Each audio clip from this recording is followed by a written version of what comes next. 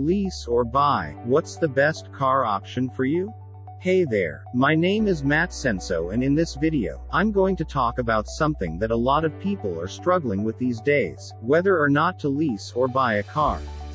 Deciding whether to lease or buy a car is a big decision and one that shouldn't be taken lightly.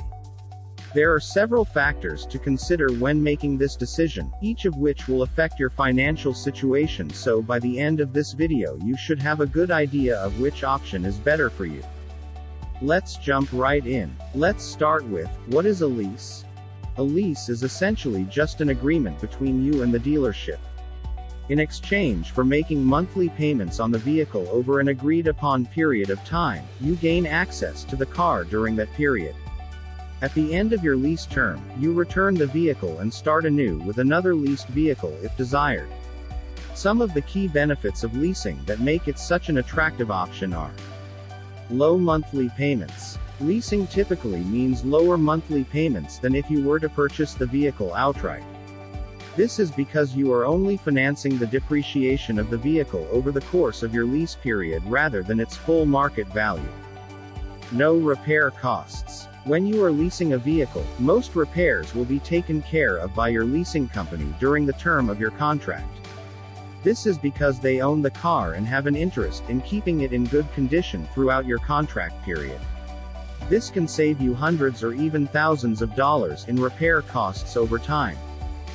Tax advantages. Leasing may also offer certain tax advantages depending on where you live and what type of vehicle you are leasing. Also, if you decide to end your lease early then there may be extra fees associated with that as well.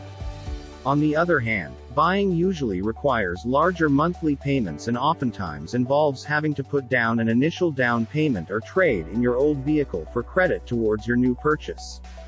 Furthermore, certain models may have higher insurance rates due to their age or condition which can increase the cost of ownership even further. At the end of the day, it really depends on what works best for your lifestyle and budget. Leasing gives you access to newer models while buying gives more flexibility later on down the line but requires larger upfront costs. Make sure to weigh out all of your options before making any decisions. Research different makes and models as well as dealerships that offer fair prices and good customer service so that whichever path you choose will be right for you. Taking some time now to understand how leasing versus buying works will help ensure that whatever route you go will be rewarding in both short-term and long-term scenarios. Good luck. For more information visit lowincomeassistance.net link given in the description below.